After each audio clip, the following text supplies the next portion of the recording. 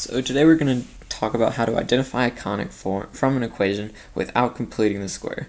Completing the square, as you know, can be like a really big pain. It takes a long time, and you really don't have to do it to identify what type of conic you're working with. So here we have ax squared. This is the general form of a, of a conic, I should say, general form of a conic. We've got ax squared plus cy squared plus dx plus ey plus f. So this is just any conic could be written in this uh, form. And types of conics, there are four types. I'm sure you know them by now. It's um, circle, parabola, hyperbola, and ellipse. And to identify which one of these four it is by this equation, the only thing you need to look at is A and C. So look at A and C. So these are the coefficients in front of the squared terms. Just those two, that's all you need to know. And then these are four rules that will let you know uh, what type of conic you're working with. So if A is equal to C, and both are positive,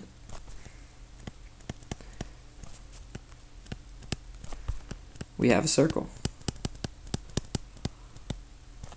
That's a circle right there. And then now if we have a times c equals 0, we have a parabola.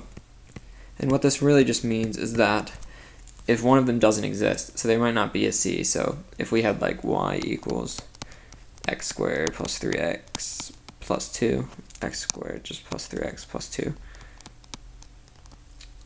this would be a situation where a times c equals um, 0 because a is 1 and c just it doesn't exist. So we can just say it's 0 so 1 times 0 0 parabola.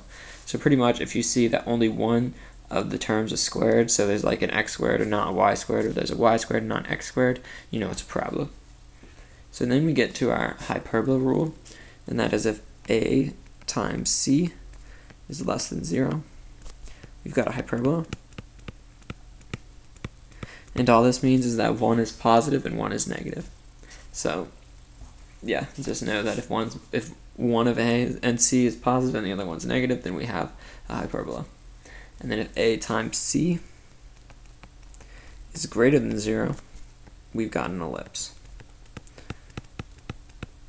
These are the only four rules. They're all you have to know to identify what type of conic you're with. We're about to do like six examples. It's quick and it's about a hundred times easier than completing the square. So here we go.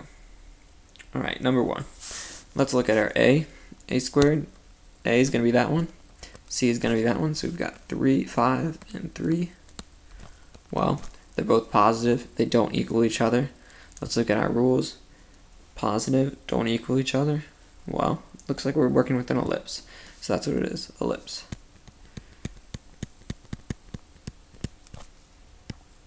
Alright, here we go. We got 3y squared minus 3x squared.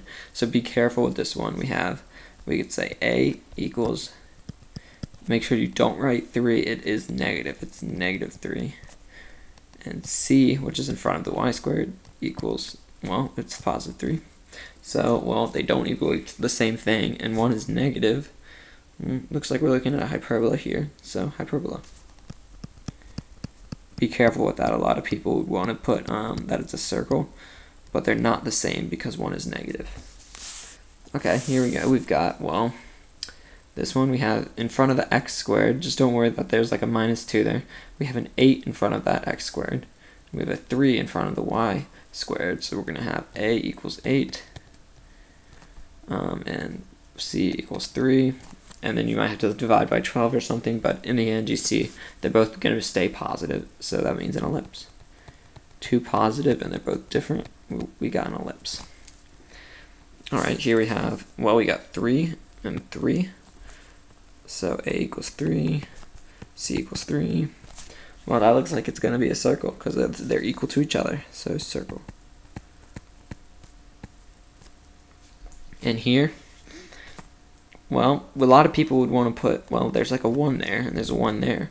But really, you have to keep track of that 4 and that 7. Because what you really have is you have like 1 fourth times x minus 1 squared. And then you have 1 seventh times y plus 8 squared. So be careful with that. And notice, well, 1 fourth and 1 seventh, 1 fourth, 1 seventh, those are just two um, different positive numbers. That's an ellipse. Then this last one, well, this one's pretty easy, it's fit quick. Well, I see there's only one square term, that's just going to be a parabola.